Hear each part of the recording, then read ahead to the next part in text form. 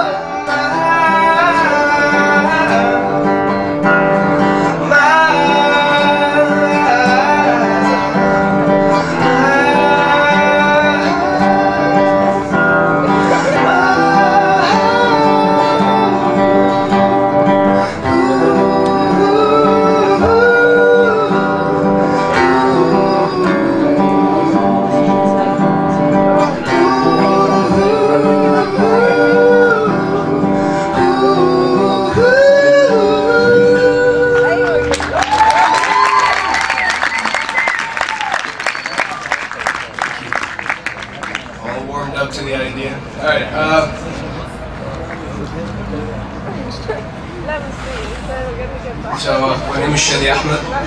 Shady like the rapper, Ahmed like the terrorist.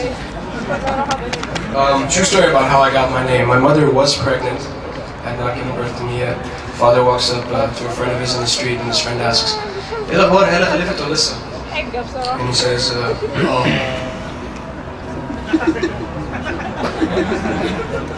so he asks, Hey, جبت Shady. أعرف كده I wonder if that's how we got our car. جبت كنت عارف ان انت بتدور ولا ايه جبت ايه؟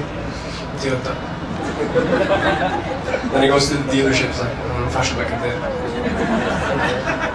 I just honestly believe that uh, if my father had run into that friend of his, like, uh, I don't know, three years later with me in his hand, big moment. Gonna be an honest man.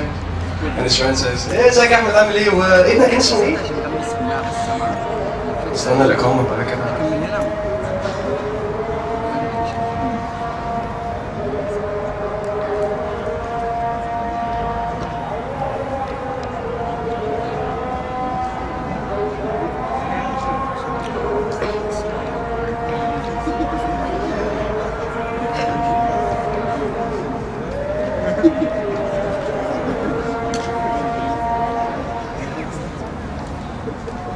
I want to I wanna talk about uh, a couple of things as a, as a singer, as a performer, that uh, I just want to bring to light these things that uh, you know, we as songwriters, we're people, we have feelings too.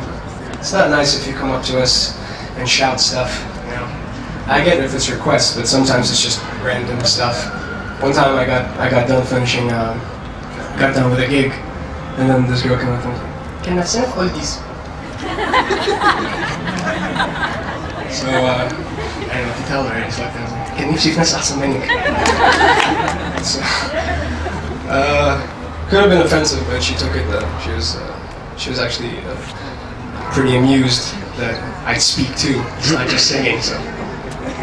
Uh, other things I love is when you're playing a, when you're playing like a bar and it's smoky, especially the jazz club. If every if anybody's been to the jazz club, there's this unspoken rule at the jazz club I don't know if anybody of you know this, but there's this unspoken rule when it's all crowded and it's all like that, and you're trying to get to the bathroom and it takes you a couple of days.